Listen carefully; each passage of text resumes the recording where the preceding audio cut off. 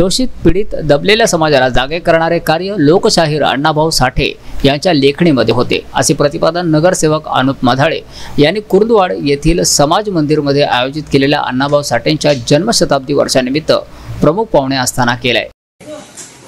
आज अण्णाभाऊ साठ्यांचे एक कृती अशी होती की त्यांचं शिक्षण कमी आहे. पण ते जगभरात त्यांचे नाव लोकिंग झालं. ते कशामुळे झालं?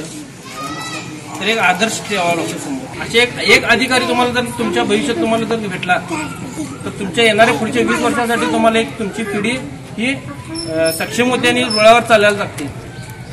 जसं घरातील एक व्यक्ती शिकली जाते त्यावेळी सगळं पूर्ण घर शिकलं जाते. तसं समाजातली एक व्यक्ती अधिकारी झाली तर ह्याच्या येणारी वीस वर्षाची पुढची अधिक पिढी ही त्या अधिकाऱ्याच्या आणि त्या येणाऱ्या युवा अधिकाऱ्याच्या मागं धडपडून लागते आणि ती वीस येणारी वीस वर्षाची पिढी त्याच्या मार्गावर पावलावर पाऊल जाऊन शिल्लक जाते यावेळी माजी नगराध्यक्ष विद्यमान नगरसेवक अक्षय आलासे मुख्याधिकारी निखिल जाधव यांची प्रमुख उपस्थिती होती.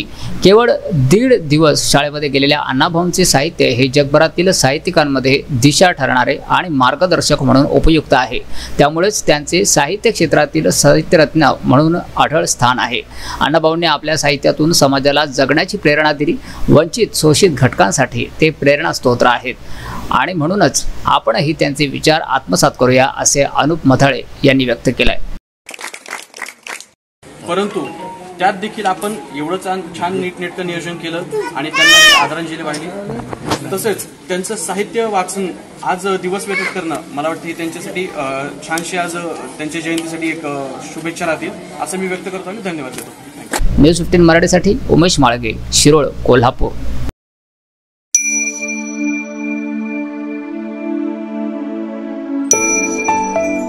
मानव चैतन्य को हिंसा से शांति की ओर ले जाने के लिए 9 से 15 अगस्त तक चलने वाला है वैश्विक ध्यान उत्सव, एकम विश्व शांति उत्सव।